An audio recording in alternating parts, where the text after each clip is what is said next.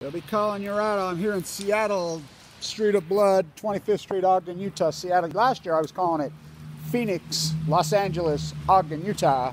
This year it's, oh, Seattle, Utah. Same fishing, by the way, exact same fishing. So I want to talk about this real quickly. Got to get some coffee here in the Hotel of Blood. By the way, the girl who just got out of prison for having sex with the teenage boy right over there, that's the famous old whorehouse, the biggest one in the world, Altes.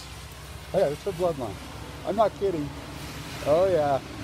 Lars up in freaking uh, Park City, that brilliant dude dug that one out. So here in Seattle, Utah,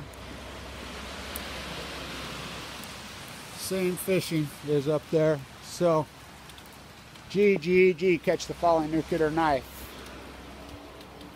Catch the falling nuclear knife, G. So they come out and says they're to miss. It's going to take them at least three years to clean up their power industry. And you're still buying that stuff. They in their earnings report. Three years. Uh, how about the marine biologist that says that uh, NOAA's saying that it's because the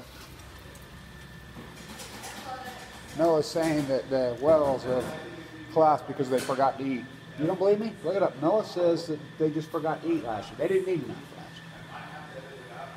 This is a NOAA scientist. You tell me.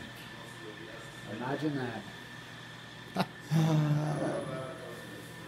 Great Salt Lake fishing tours.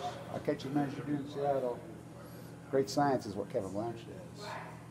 No hell below us. No, we're living it. Above us only chemtrailed skies. Obey, consume, obey, consume.